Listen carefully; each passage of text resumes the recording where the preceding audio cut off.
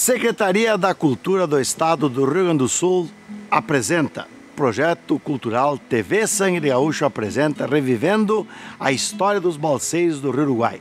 Este projeto consiste na produção de um documentário histórico musical com seis capítulos com relatos, narrativas, entrevistas e músicas, com o objetivo de realizar um resgate histórico passando por seis diferentes pontos que integravam a rota dos balseiros do Rio Uruguai.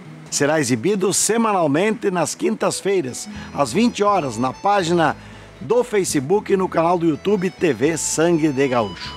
O acesso será gratuito e contará com uma janela de libras para garantir acessibilidade de conteúdo.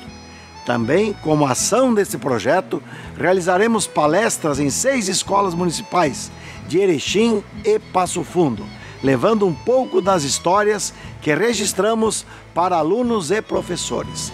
Esse projeto é uma realização do Instituto Cultural Sangue de Gaúcho e teve seu mérito cultural examinado e aprovado pelo Conselho Estadual de Cultura. Conta com o patrocínio das seguintes empresas: Andretta Mineração Concreto e Argamassa, de Cia e Transportes, JR Comércio de Cimentos, Master ATS Supermercados e Plax Metal. O financiamento é do Procultura, Secretaria da Cultura, Governo do Estado do Rio Grande do Sul. Vamos para o próximo episódio, gravado no Salto do Yucumã ou Salto Grande. TV Sangue de Gaúcho apresenta Revivendo a História dos Balseiros do Rio Uruguai. Nesse terceiro episódio, iremos falar sobre o Salto do Yucumã ou Salto Grande. O Salto do Yucumã ou Yucumã ou Tucumã ou Grande Salto Iocomá ou ainda Saltos del Moconá é um importante conjunto de quedas d'água entre o noroeste do município de Derrubadas, no estado brasileiro do Rio Grande do Sul, e ao sudeste do departamento de São Pedro, no município de El Soberbio, na província argentina de Misiones. É a maior queda d'água longitudinal do planeta e horizontal do mundo em língua guarani, moconá significa que tudo engole. Os saltos se dão ao longo de 1.800 metros e atingem uma altura de até 10 a 15 metros, dependendo do nível do curso do rio. O salto foi formado devido a uma falha geológica que varia de 90 a 120 metros de profundidade de relevo acidentado, sulcada por numerosos cursos de rios e arroios e coberta por uma importante massa arborizada, somente no Salto Yucumã, lado brasileiro, é possível observar a queda d'água. Já os saltos do Moconá, lado argentino, oferecem mais de 100 alternativas para viver a natureza. O Salto do Yucumã se encontra protegido no Parque Estadual do Turvo, na cidade de Derrubadas, Rio Grande do Sul, reserva ecológica com aproximadamente 17.491 hectares. O Parque Estadual do Turvo está localizado na divisa do Brasil com a Argentina. Este salto era, sem dúvida alguma, o mais temido pelos balseiros do rio Uruguai, que viam na sua travessia ou passagem a maior dificuldade de transpor o trajeto das balsas. Muitas destas foram perdidas ou desmontadas nesse percurso do rio. Além de vidas de balseiros, no local o rio teria uma correnteza furiosa e muito rápida, com marolas e ondas temidas, já mencionadas nos depoimentos dos balseiros remanescentes. Foram tantos os relatos dos entrevistados sobre este local, dali em diante existiam outros obstáculos naturais como roncador e ilhas, mas nada comparado a este. O Salto do Yucumã é uma beleza natural que pode ser visitada desde que previamente agendada junto à direção do Parque Estadual do Turvo. Estamos aqui no Salto Grande, no Salto do Yucumã, no Parque Estadual do Turvo são mais de 17 mil hectares, 17.500 hectares. Este local tem o maior salto longitudinal do mundo, são mais de 1.800 metros, aonde o rio cai, né, de lá para cá, depois nós iremos mostrar com imagem. E nós não podíamos deixar de mostrar esse espaço, este local onde os balseiros por aqui tinham que passar. Claro que hoje nós estamos vendo o rio em época de seca, mas para a ponta de balsa, para que esse salto fosse minimizado na sua passagem, estaria com quase 11 metros de altura o nível do rio. É um espaço muito interessante, é um local que nós vamos mostrando as imagens e que daqui, passando daqui, praticamente as balsas então seguiam né, rumo a São Borja. Mas o Salto Grande era um dos mais temidos pontos das balsas e dos bolseiros do Rio Uruguai. Estamos aqui hoje, queremos agradecer a direção do parque, a autorização que nós tivemos para estar fazendo estas imagens e mostrar para você, aí na tua casa, um pouquinho desse local tão maravilhoso. E o Clóvis Mendes, que é o nosso parceiro que nós vemos vindo de viagem, fez uma música especial para este ponto. E ele vai falar para você como é que ele criou, qual é a inspiração que ele teve desse momento. O Clóvis Mendes, que é filho do seu Pedro Mendes, que está participando também dessa nossa websérie, desses seis programas, ao qual eu também peço para que você se inscreva no canal para poder acompanhar, fez uma música. Clóvis, como é que tu te inspirou nesse salto grande? Salto Grande é, é o salto lendário, né? Isso aqui é uma lenda dos balseiros. Aqui, aqui inspirou grandes cantores do nosso Rio Grande do Sul, grandes poetas, grandes compositores. E quando nós falamos no projeto Revivendo a História dos Balseiros do Rio Uruguai, então eu compus um verso que eu vou apresentar para vocês dentro do, deste projeto. Chama-se Yucuma. Vamos ver então a música. É mais ou menos desse jeito?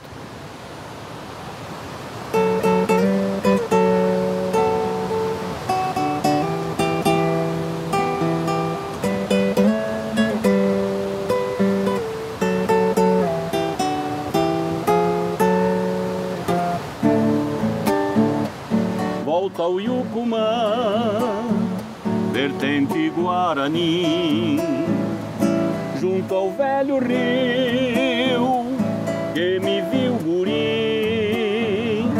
Nós envelhecemos e o rio rejuvenesce.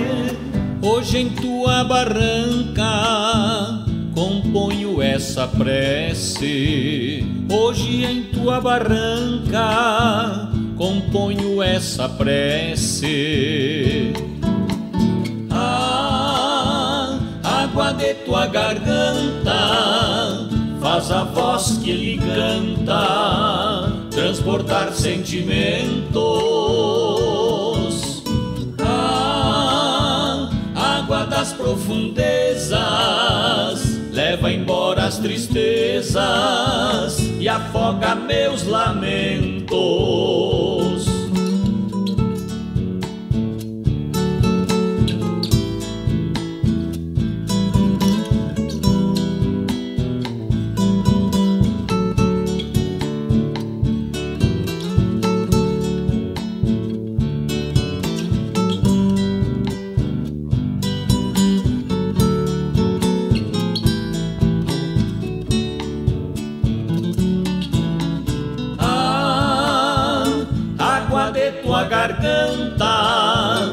Faz a voz que ele canta transportar sentimentos. A água das profundezas leva embora as tristezas e afoga meus lamentos. A água de tua garganta faz a voz que ele canta transbordar sentimentos. A água das profundezas leva embora as tristezas e afoga meus lamentos.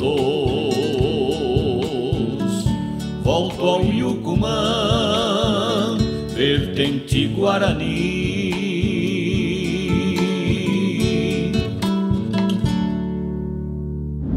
seguindo a saga dos balseiros do Rio Uruguai, estamos aqui fazendo imagens na beira do rio, algumas imagens nós estamos fazendo em estúdio, gravamos músicas com artistas que irão brindar a cada episódio né, com uma música nova, uma música inédita ou então músicas já conhecidas da nossa discografia gaúcha. É importante dizer que nós estamos fazendo esse trabalho sem ter aí é, o interesse, o objetivo de contar a história. Nós estamos aqui revivendo a história. Né? Nós não estamos, estamos aqui de forma alguma querendo fazer com que esse nosso, eh, nessa nossa websérie seja a contar o que, o que realmente aconteceu. Nós estamos revendo, revivendo, alguém já contou, existem várias pessoas que escreveram sobre isso e nós tentamos de forma bonita, encantadora, com imagens, com músicas novas, com participação de artistas, com pessoas vivas que viveram esse momento da saga dos balseiros do Uruguai, fazer aí né, é, um ponto, trazer aquilo que nos dias de hoje ainda pode se resgatar. Dizer de que agora iremos falar nesse episódio sobre o salto do Yucumã, mais conhecido pelos bolseiros ou pelas pessoas que viviam do Rio Uruguai de Salto Grande, que é uma das maiores fendas, é um dos maiores saltos longitudinais do mundo considerado. Né? Ele tem uma extensão muito grande, uma profundidade muito grande e que mesmo que houvesse uma enchente, mesmo que se cobrisse o salto com 11, 12 metros, é, ele tinha um ponto ali muito perigoso. Era um dos pontos mais temidos uh, na viagem dos bolseiros. Nós tínhamos alguns pontos que a gente pode citar aqui, a Pedra Fortaleza, ali próximo a Iraí, tínhamos uh, o salto do Yucumã, o salto grande, tínhamos o salto do Roncador, que nós também vamos mostrar aí no decorrer uh, das nossas imagens. Mas o salto grande realmente tinha todo um preparo. Quando se chegava próximo ao salto grande, o prático avisava, né? Temos o salto grande, e aí alvoroçava um pouquinho as balsas. Balsas elas, essas, dicas de passagem, que muitas vezes elas vinham, como você falou no começo, em uma balsa no mar em torno de 600 dúzias, mas tinham a junção de balsas, que tu chamava, que se chama de remorque. É isso? Exato. Vamos falar sobre isso, depois falamos do salto grande. O que era um remorque? O remorque é quando eles empanavam, eles chamavam empanar, né, uma balsa na outra. Então duas balsas pequenas de 450 dúzias, de 500 ou 600, quando é, se aproveitava era do mesmo, do mesmo madeireiro. Se aproveitava o mesmo prático, aumentava um pouco a tripulação dos remos, em vez de dois ia para quatro, dois na ponta da frente, dois na ponta de trás, dobrava praticamente a tripulação, mas é, essa é a denominação, a junção de uma ou mais balsas, de duas ou mais balsas, chamava-se remorque. E tinha os tal de remorquinho, que eram duas balsas pequenininhas, né? mas uma do lado da outra. E os remorques grandes, que a partir de São Borja, nós vamos falar no último episódio, era a junção de inúmeras balsas. É importante dizer que esses balseiros que viajavam em 8, 10 homens, tinham um prático, tinha um homem que dizia que chamava o homem do tempo, né? A gente já falou sobre isso, está só uh, registrando novamente, que dizia o momento certo de que as balsas poderiam ser uh, largadas rio abaixo. É importante dizer que o rio não podia estar enchendo porque quando ele enche a parte do meio do rio fica um pouco mais alta, então há a possibilidade das balsas caírem para as barrancas ou para os galhos das árvores. Então toda uma história bonita que a gente foi resgatando e lendo a respeito e que traz para você aí, né, de repente desperta em ti é, o interesse em ler um pouquinho sobre os bolseiros do Rio Uruguai. Para quem não sabe, o Rio Uruguai ele delimita o estado do Rio Grande do Sul em relação a Santa Catarina. Ele é a divisa né, de estados.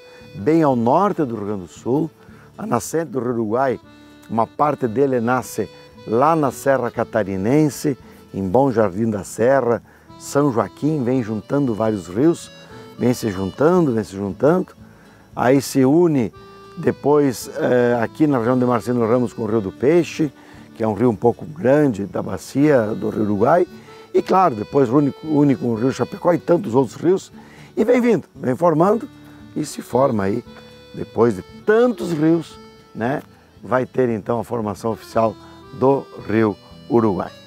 É importante que se diga que os bolseiros sempre esperavam enchente não só de um rio, mas do rio Uruguai na junção dessa sua bacia, que era uma junção de vários rios. Clóvis. No início, chamado Rio Pelotas, né? Até Marcelino Ramos. Até Marcelino Ramos, Rio Pelotas. Exatamente. Exatamente. É. E o homem do tempo, o qual você relatou, ele não fazia nada além de observar a natureza. Observando o, o canto da saracura, observando o movimento do tempo com, com relação à lua, era muito importante, porque eles tinham um histórico de conhecimento já que vinha de, de gerações Astrologia, anteriores. numerologia, tudo isso fazia parte. As gerações e anteriores já diziam, olha, se tal bicho cantou tantas vezes e se manifestou dessa forma, vai parar a chuva. Está no ponto de balsa? Larga, larga de baixo. Importante, repetindo aqui, né, as balsas não eram, o rio Uruguai não era navegável, para registrar novamente, o tempo todo. Então existiam os períodos de enchentes que poderiam aleatoriamente ser fora dos tradicionais períodos de enchente, né? e quando se tinha enchente, se aproveitava o rio. Então alguns balseiros, eles eram profissionais com outras atividades, ou no campo, na serraria, ou trazendo madeira, e também né, eh, faziam como complementação da sua renda eh, a levada ou conduzida às balsas eh, Rio Uruguai abaixo. Salto Grande, muito importante né, falar no Salto do Ucumã. A reserva do Turvo, a reserva estadual, é o Parque Estadual do Turvo, é um parque estadual do Rio Grande do Sul, são mais de 17.500 hectares é um parque muito bonito, que hoje é reserva, né, e que ele, dentro do seu parque, tem, então, o Salto Grande. Antes de nós falarmos do Salto Grande, Clóvis, eu gostaria de aproveitar aqui e agradecer a todos que nos acolheram nessas nossas andanças. Né? A gente quer de coração, não vai dizer os nomes, para não deixar alguém de fora, né? que todos foram importantes, com mais ou menos participação. Mas obrigado a todos que nos acolheram com muito carinho, pessoal dos balneários, o pessoal que nos levou passear, passear não, filmar dentro do rio, e para nós foi um passeio também, né? Então nós queremos agradecer essas pessoas que também colaboraram para nós estarmos aqui mostrar para vocês esses momentos. Lá no Salto Grande tivemos também aí o apoio é, do pessoal da fiscalização ambiental, né, da direção do parque, que gentilmente né, os guarda-parques estiveram junto conosco, nos dando orientações, nos acompanhando na beira do Salto Grande. Então, vou dizer para você, gravamos num período de Salto Grande vazio, mas o Salto Grande realmente era um ponto que dava um certo medo aos balseiros. Teu pai comentou sobre isso né, na, na, na entrevista que nós fizemos com o Pedro Mendes. O que, que acontecia no Salto Grande? O Salto Grande era o maior desafio dos balseiros, né? era o maior, era o mais temido, era era ensurdecedor o barulho quando chegava por perto, era de arrepiar os cabelos da indiada que estavam nos remos. E tinha o prático, preferencialmente, teriam que passar de dia. Em função do, do grande risco e perigo, se precisasse dar uma seguradinha para passar de dia no Salto Grande, em função do perigo não poderia passar do meio do rio para o lado argentino, que lá as fendas, as rochas são mais altas. Teria que cruzar costeando as margens brasileiras, teria que costear a barranca, como dizia os balseiros antigos, o caminho das pacas, né? Costeando o sarandis e as outras vegetações que existem, as outras árvores que tem, as guajuriri, enfim. E não poderia se descuidar. Ali era fundamental que se passasse costeando o lado brasileiro, jamais pelo lado argentino, em função do perigo de, de pegar a balsa, a ponta da balsa numa daquelas rochas e fazer o, o, o, o embolar as balsas ali e a profundidade que se estima hoje com estudos que fizeram com sonar, que no meio das fendas ali tem uma, uma profundidade entre 90 e 110 metros de profundidade e com o rio aí a uns 10 metros acima do nível normal, imagina o turbilhão que cria a, a, a, além, da, além da velocidade da água, a força e a gravidade que tem. Pra, uma balsa não é nada perante aquelas pedras, ali se desmancha tudo. Não tem como, não teria como passar ali. Então era o grande perigo, o grande desafio dos balseiros era passar o Salto Grande. Olha, nós estamos aqui contando a história, revivendo, contando não, revivendo né, a história dos balseiros do Uruguai. Esses locais todos que nós estamos falando aqui, o Clóvis comentou muito bem, eles são lugares, lugares ainda visitáveis, que podem ser visitados desde com agendamento, procurem aí, né, Salto do Yucumã, derrubadas, né, fala com o pessoal lá que faz o cuidado, do, que cuida do parque, que é um órgão estadual, e você pode ir lá sim fazer, tem horário e tal, tem que dar uma olhadinha no site para você saber.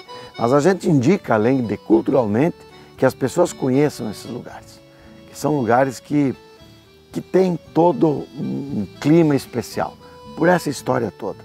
Do outro lado é a Argentina, como disse o Clóvis, é, é mais alto do lado da Argentina, então por isso as balsas tinham que passar pelo lado brasileiro. É, os obstáculos do lado brasileiro menores do que do lado argentino. E do lado argentino se tem uma floresta também, um parque é, nacional argentino muito grande. É, inclusive esse parque tem hoje né, onças, animais, é, anta, é ainda um dos poucos lugares que se tem a fauna e a flora preservada com muito carinho, com muita dedicação dos guarda-parques, das pessoas que lá trabalham. Para deixar registrado, porque nós fomos muito bem recebidos e a gente gosta de dizer que as pessoas eh, ainda se importam, sim, com a cultura e com a história.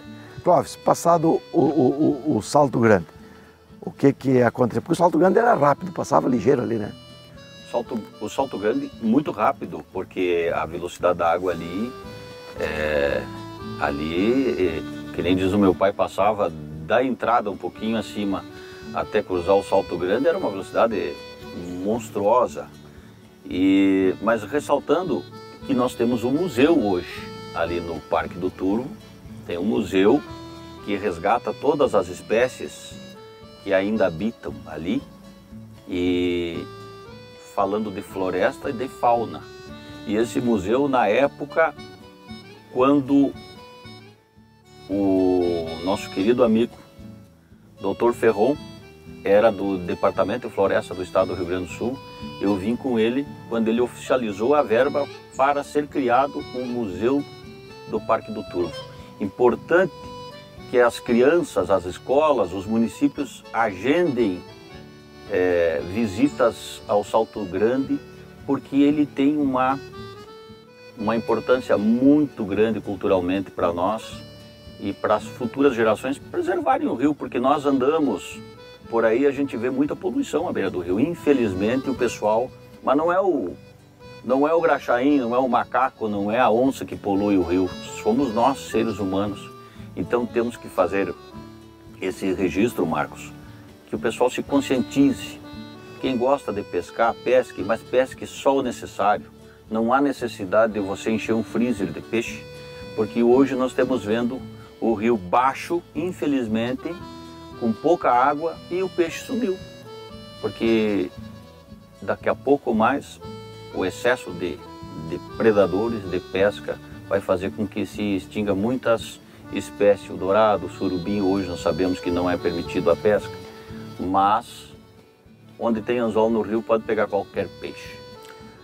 Importante dizer que nós estamos gravando aqui, né, TV Sangue Gaúcho apresenta Revivendo a história dos bolseiros do Rio Uruguai. Estamos aqui na beira do rio. Vejam que majestoso, o quão é majestoso o rio, que chega a ter mais de mil metros de largura na parte mais eh, ao sul, né, mais próximo à Argentina. E a gente sabe que esse rio é um rio muito importante economicamente, deu sustento a muitas famílias, ou seja, na pesca, ou seja no transporte de madeiras, de produtos, ou seja na própria água que é extraída do Rio Uruguai para irrigações, ou seja para agora então as barragens que geram energia, porque muita gente prega aí a manutenção é, da natureza. Eu acho que é interessante isso e a gente está aqui também fazendo um pedido, acabou o Clóvis, de dizer que as pessoas podem até pegar um peixe para comer, mas não pega para, né, além daquilo que você necessita para o teu sustento. Mas nós precisamos da água do Rio Uruguai. Precisamos para a alimentação do gado, que vai gerar depois a carne, precisamos para a produção do arroz lá na fronteira, precisamos para a geração de energia, mas que tudo isso seja dentro de uma forma que não agrida a natureza e que suma essas belezas naturais. O Salto Grande realmente foi um momento muito importante para nós estarmos lá. Viva o Salto Grande, viva Derrubadas, viva o Parque Estadual do Turvo, momento em que os balseiros então se alvoroçavam todos.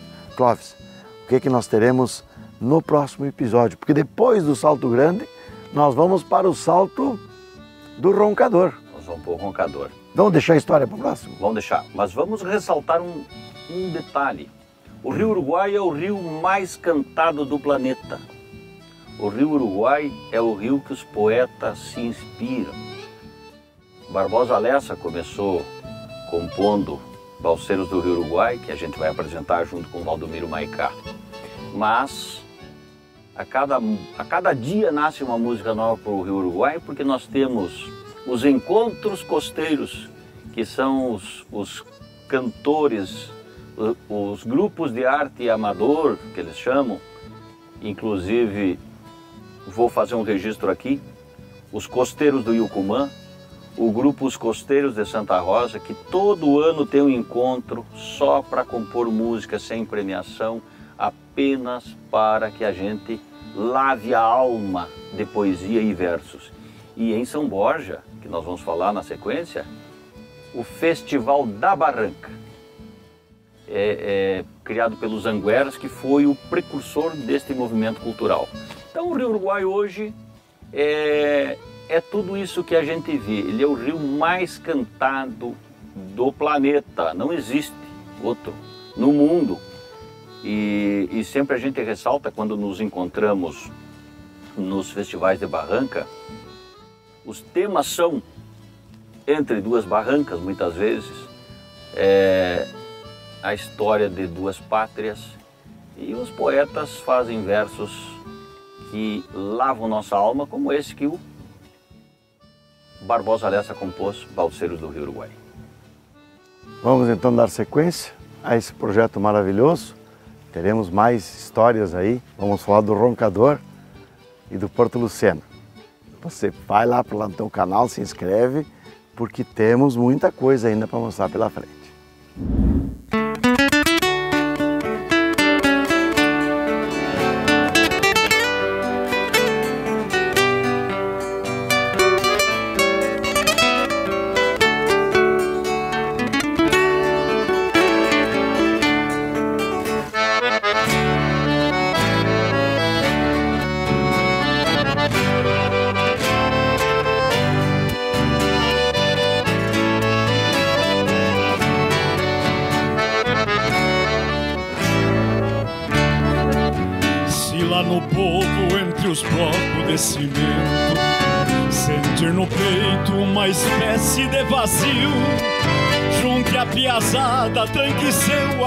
Apartamento. Venha pra costa ouvir o canto do rio. Depois de noite, quando a lua vem saindo, e a prosa mansa na varanda tem início entre os amigos do Uruguai por parceria. A correnteza chora e canta por capricho. Quem cuida o mato como cuida o passarinho. Quem cuida o rio sem pretensão de pescar mais. Tenha certeza que o sol nasce mais bonito. Brotam mais flores ao redor dos mananciais. Quem cuida o mato como cuida o passarinho. Quem cuida o rio sem pretensão de pescar mais. Tenha certeza que o sol nasce mais bonito. Brotam mais flores ao redor dos mananciais. Só depois que a última árvore for derrubada, que o último peixe for morto e o último rio envenenado, vocês irão perceber que dinheiro não se come.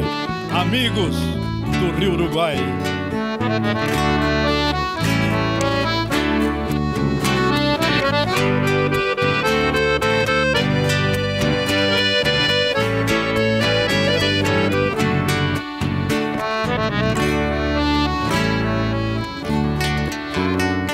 Tarde quando a lua vem saindo e a prosa mansa na varanda tem início entre os amigos do Uruguai por parceria.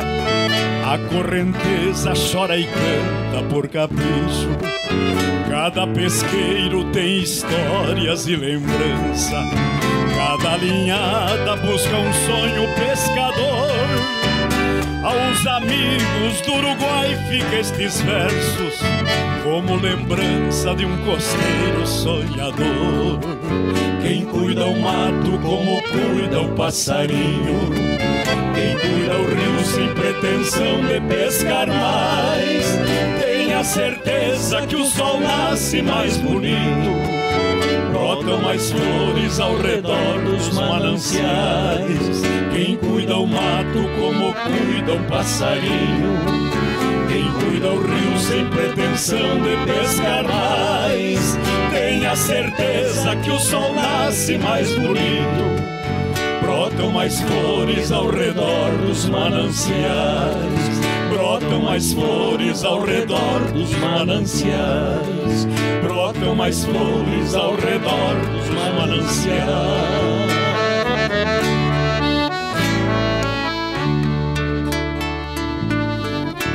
Amigos do Rio Uruguai. Então, é, nós estamos aqui diante de uma réplica que foi construída já há uns 7 ou 8 anos atrás é, por um balseiro que mora aqui no Noai, um grande amigo, é, seu Avaristo Lemes de Oliveira, 89 anos, e que fez seguramente mais de 20 viagens é, pelo Rio Uruguai como balseiro. Mas ele, pelo conhecimento dele, ele nos ajudou a constituir é, esse tipo de balsa aqui que representa uma das categorias é, da época. Como eu falei, a primeira balsa que se deslocou do Goiuém usando o transporte, a água para poder chegar até São Borja, fazendo a comercialização de produtos naturais da região foi a Pirágua, que era um barco fechado, é, construído é, pela família Lajus, também pela família Sperry, que tem, consta na literatura aqui no Noai, lá no Goiuém. Eram barcos fechados que levavam açúcar mascavo, rapadura, cachaça e especialmente a erva mate canchada que era produzida aqui na região. Portanto, Antes da madeira, não, uh, outros produtos que eram produzidos pelos pequenos agricultores, pelos primeiros, eh, digamos, colonos de Nonoai, aqueles que vieram povoar Nonoai ainda no final do século XIX, já que Nonoai teve a sua fundação no finalzinho da primeira metade do século XIX, fruto do tropeirismo. Então, no final do século XIX, começa o comércio entre o Goiuém até São Borja através das piráguas. No início do século XX, nós vamos ter então as balsas de tronco, é, que eram é, semelhantes a essa, porém eram aquelas árvores que eram decepadas na floresta, arrastadas por animais até o porto e eram amarradas com cipó goiambê, que é nato, que é produzido aqui por essa espécie de parasita que dá nas árvores grossas que temos aqui nas nossas florestas. Então, o cipó guaiambê era utilizado para amarrar os troncos que saíam de Itá, ou mesmo do Goiuém, de outras cidades, de outros lugares aqui próximo ao Rio Uruguai, eh, que aproveitavam as enchentes para sua descida até São Borja. E esta aqui pertence, esta maquete que nós estamos vendo aqui, ela pertence então à última série que é de madeira serrada, madeira já produzida, especialmente o pinheiro que era a madeira mais apreciada pelos argentinos, que era a madeira que alcançava o maior valor comercial nas exportações para a Europa, madeira de primeira, madeira de segunda e terceira não ia para exportação, que tinha nó, por exemplo, não, não era aproveitada, ficava aqui. Portanto, era madeira de primeiríssima qualidade que era extraída. E como essa maquete nos mostra, cada pedaço dela simboliza um catre ou um cartel, essa nomenclatura é típica da literatura dos balseiros. Então, os quartéis, aqui nós temos o rancho, aqui nós temos a lata, aqui nós temos o, né, o tarugo que segurava os remos, né, em cada ponta das extremidades da balsa você tinha, dependendo do tamanho da balsa, quatro remos ou dois, para cada remo você tinha dois homens, uma balsa pequena ou quatro, se era um remorque, por exemplo. O que, que era um remorque? Era uma balsa grande, acima de 100 metros, acima de 100 metros linear no leito né, ou sobre a água, na superfície da água. É, aqui nós temos, por exemplo, o maço, né, normalmente três ou quatro planchas de duas polegadas, portanto 5 centímetros, né, compunha cada, cada plancha, como a gente diz, que formava os maços. E quando esta jangada chegava em São Borja, no porto, e era entregue para os empresários, imagine vocês, acima de mil dúzias de madeira, essa madeira era entregue para os empresários, era desmanchada, né? e ali ia para serrarias ou ia para, digamos, Buenos Aires e juntava-se um volume muito maior para os navios para exportação. Portanto, a amarração da balsa nada mais era do que a forma para facilitar o envio, o transporte sobre a água do rio Uruguai. Não era por outra razão que se amarrava desse jeito. Esta balsa era feita então amarrada com arame e esse arame podia ser facilmente enferrujado, né, dependendo do tempo que ficava na água ou a balsa parada esperando a enchente. Normalmente os períodos de inverno é que a enchente vinha com mais intensidade, com mais regularidade e que garantia o envio da madeira. E aqui um detalhe interessante é o rancho. Para que, que era o rancho? Algumas pessoas me perguntam para que, que servia o rancho. O rancho era onde se cozinhavam os alimentos para esta semana de viagem. A roupa dos balseiros ficava normalmente pendurada dentro do rancho para que não, caso passasse numa corredeira e a água uh, cobrisse a balsa, eles tinham que ficar uh, se cuidando né, para não, não afundar e a balsa não afundava porque a madeira estava enxuta, portanto ela ficava boiando sobre a água, mas a roupa não podia molhar e por isso ficava pendurada. Os mantimentos, os alimentos, normalmente feijão, arroz, carne de porco, galinha que levavam, batata, eh, mandioca, eh, produtos coloniais aqui da região que eles levavam, às vezes compravam no caminho porquinho, galinhas para ir eh, administrando isso na medida em que a fome é, eles iam tocando a vida, né? não podia parar a balsa, então eles levavam pendurado aqui dentro. O fogão era improvisado, porque isso tudo era desmanchado em São Borja.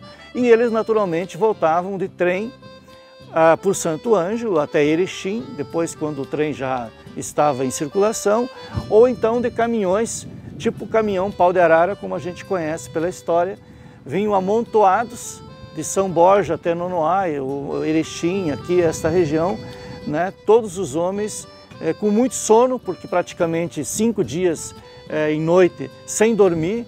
Perguntei a um deles, que que, como é que vocês faziam para dormir? A gente não dormia. Para um dormir, os outros tinham que ficar cuidando, tinham que ficar trabalhando para a balsa não perder o rumo sobre o leito do rio e não bater nas margens e correr risco de perder a madeira. Portanto, esta jangada que a gente está vendo aqui, ela se desmanchava na chegada em São Borja e os balseiros, é, de posse das, dos seus troquinhos que ganhavam na viagem, voltavam, né, os próprios empresários patrocinavam o caminhão que trazia eles de volta para suas casas. Entre a ida e a volta, não menos de 15 dias para poder fazer uma viagem com tranquilidade, dentro das normas e da segurança até mesmo que as enchentes permitiam naquela época.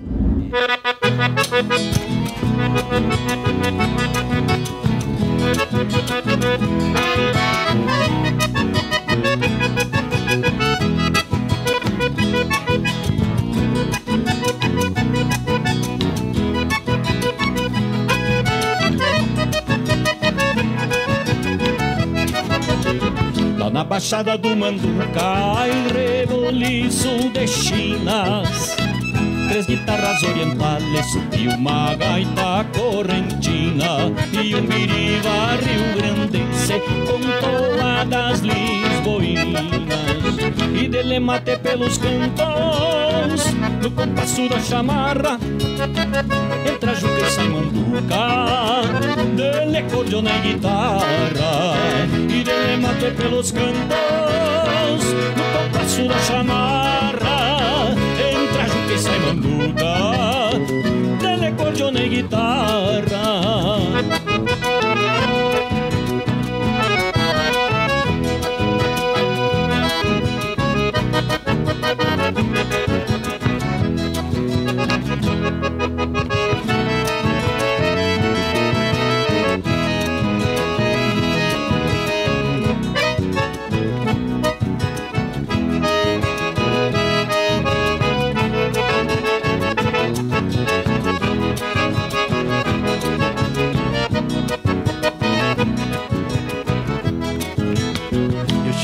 Laredo lá na estância se a prepara já faz dia. Segundo-se a Basilícia vai trazer várias famílias Pra escutar o Dom Mortaça, o gaiteiro Malaquia E um cantor da Bossoroca que canta com galhardia. E dele mate pelos cantos, no compasso da chamarra Entra Juca e sai Manduca E ele colheu na guitarra E ele mate pelos cantos No compasso da chamarra. Entra Juca e sai Manduca E ele colheu na guitarra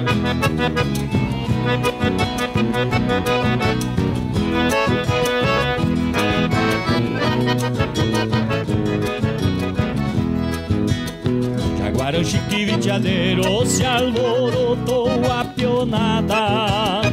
Do caseiro capataz, todos de bota encebada E o careca Saragossa nem liga pra gineteada. E dele mate pelos cantos, no compasso da chamarra.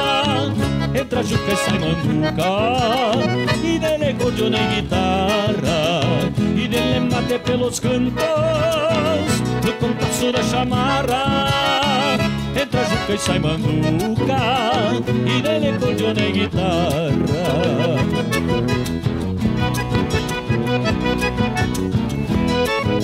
E aprendi Ana Luísa, meu companheiro. E aprendi a Ana Luísa, filha do nosso patrão Já encargou água de cheiro vindo de outro rincão. E o delental colorado partido de sua opinião. E ele mate pelos cantores no compasso da chamarra. Entra Juca e sai Manduca. E ele colheu na guitarra. E ele mate pelos cantores No compasso da chamarra Entra Juca e sai Manduca E ele colheu na guitarra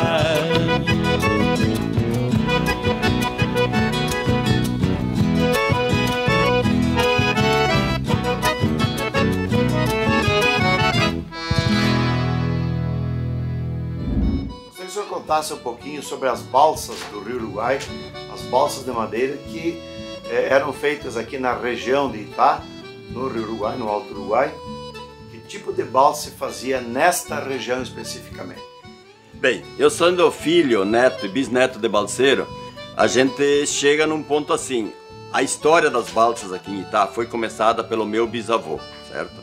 Então, que tipo de balsa que a gente fazia? Itá era rico em madeiras de lei, cedro. Bom, o cedro então foi o nosso caro chefe, de fato, que a gente extraía do mato para o rio.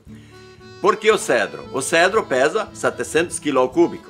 Então, assim, como no mínimo os balseiros imaginaram levar cu, eh, quatro cúbicos por, por árvore, que eles cortavam pé e ponta, é interessante a gente falar isso.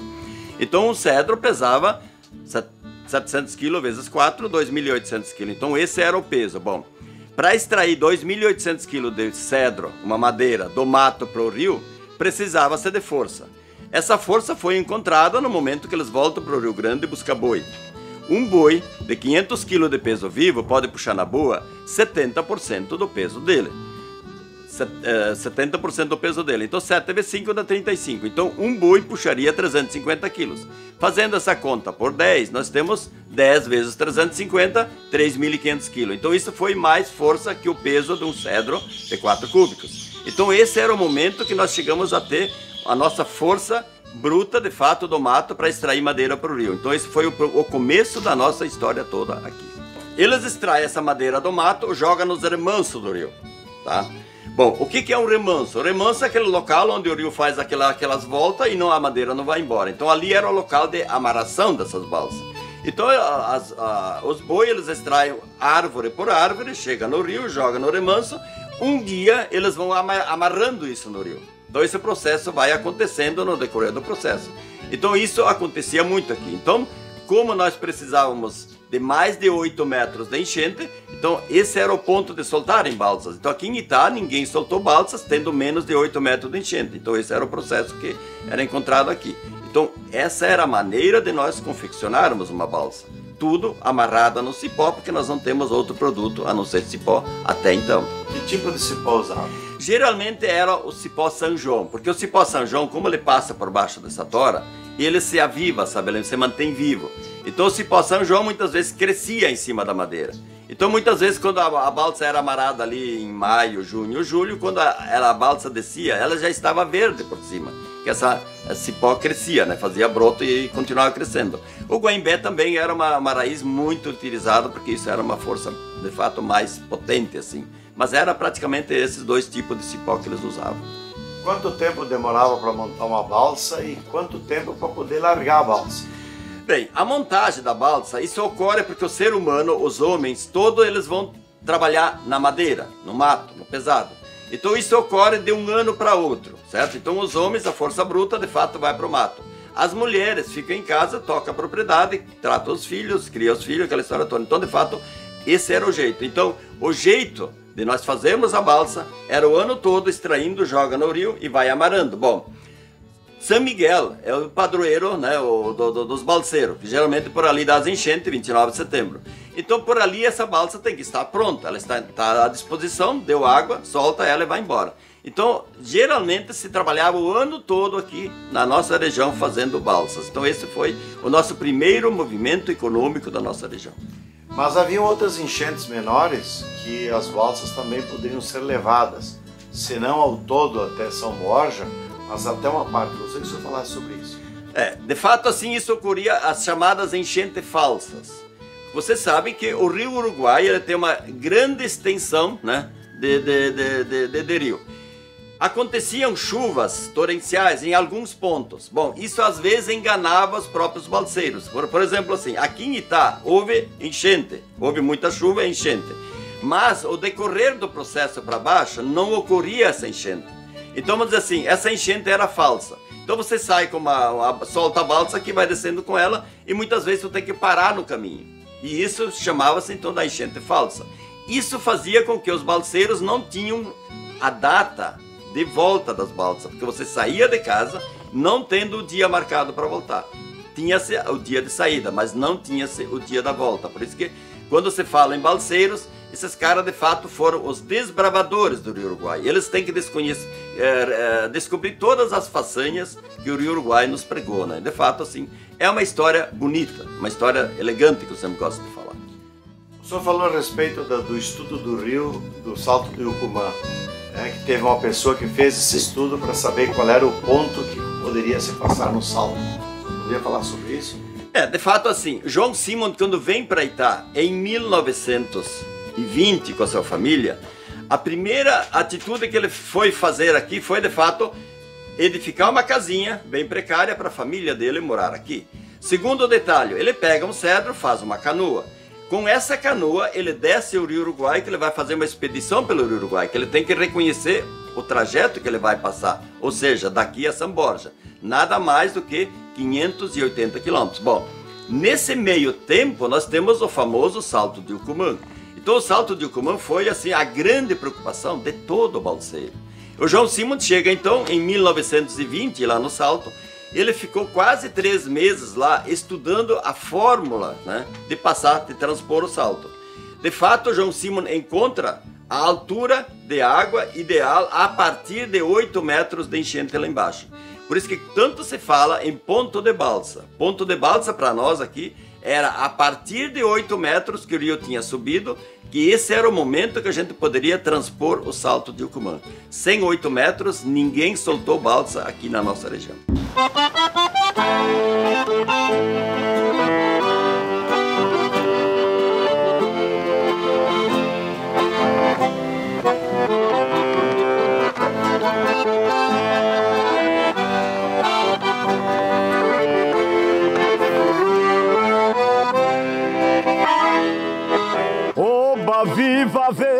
A enchente, Uruguai transbordou, vai dar serviço pra gente. Vou soltar minha balsa no rio, vou rever maravilhas que ninguém descobriu.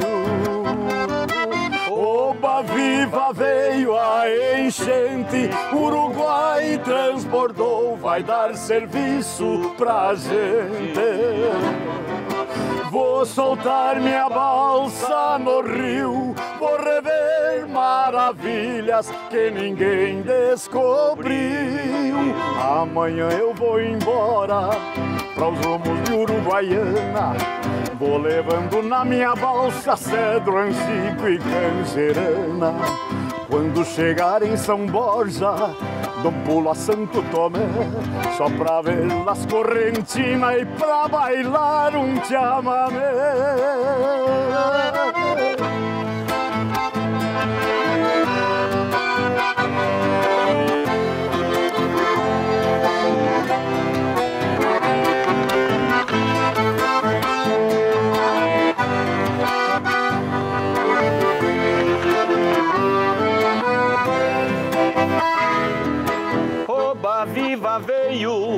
A enchente o Uruguai transbordou, vai dar serviço pra gente.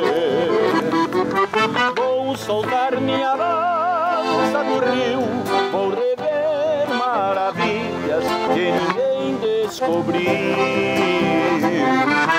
Oba viva veio a enchente, Uruguai transbordou, vai dar serviço pra gente.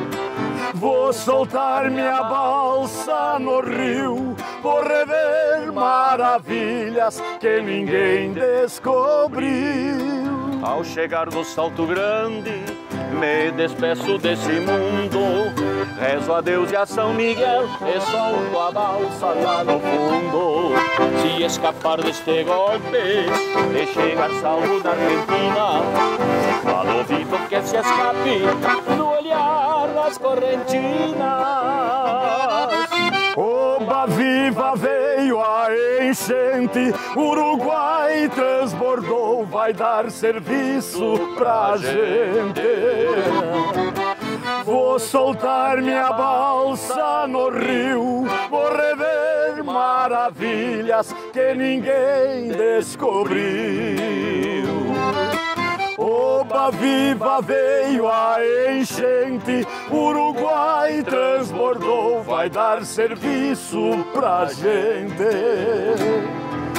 Vou soltar minha balsa no rio, vou rever maravilhas que ninguém descobriu.